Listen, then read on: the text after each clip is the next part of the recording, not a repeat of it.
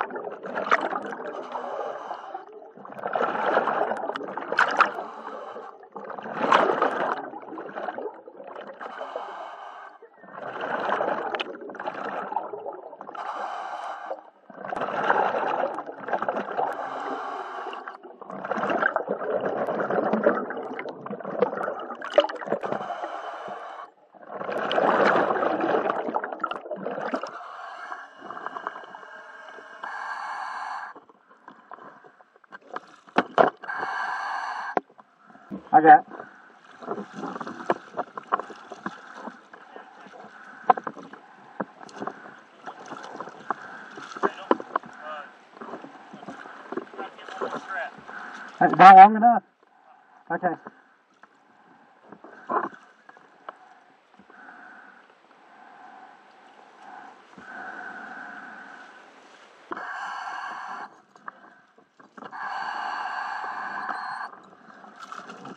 I got it, it. Thank you.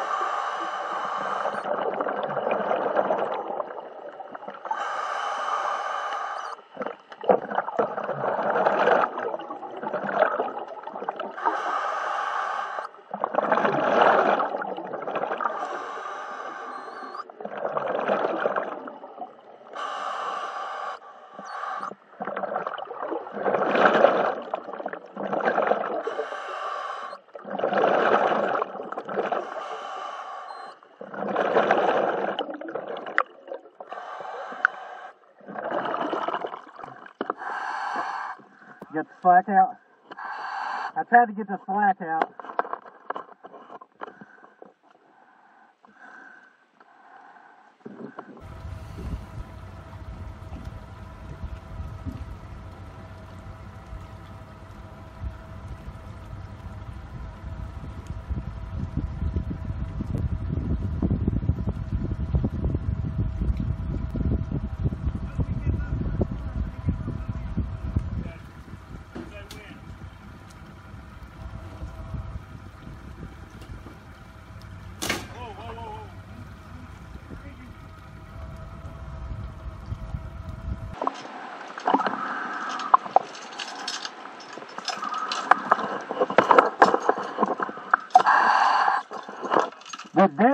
Caught up underneath this root right here too.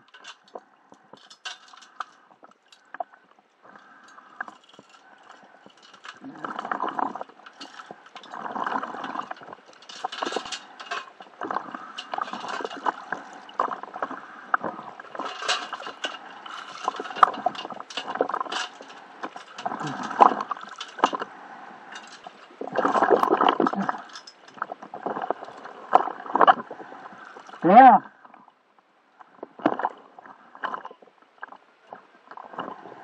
Now we're about done.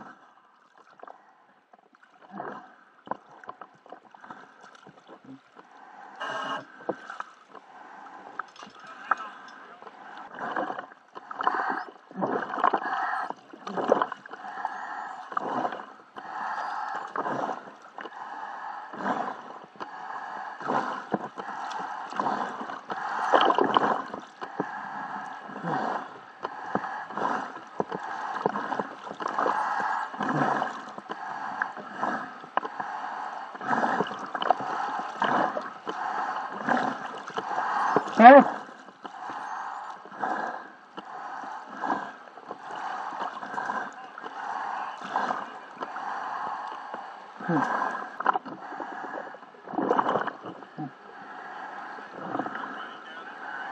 Yeah, he just can't get up. Can we get him to the dock?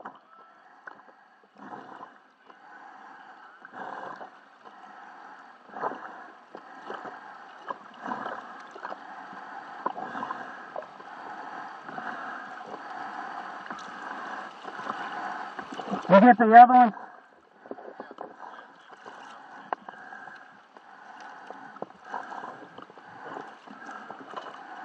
I want him to get up before I get out, just in case.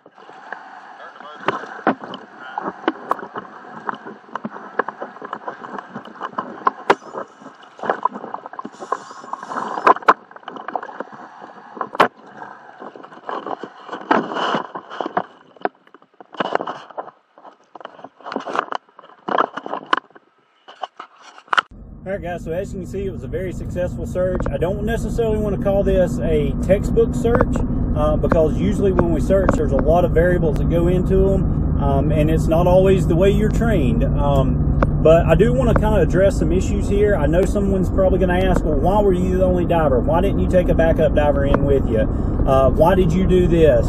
Um, the totality of the circumstances really deem what we do.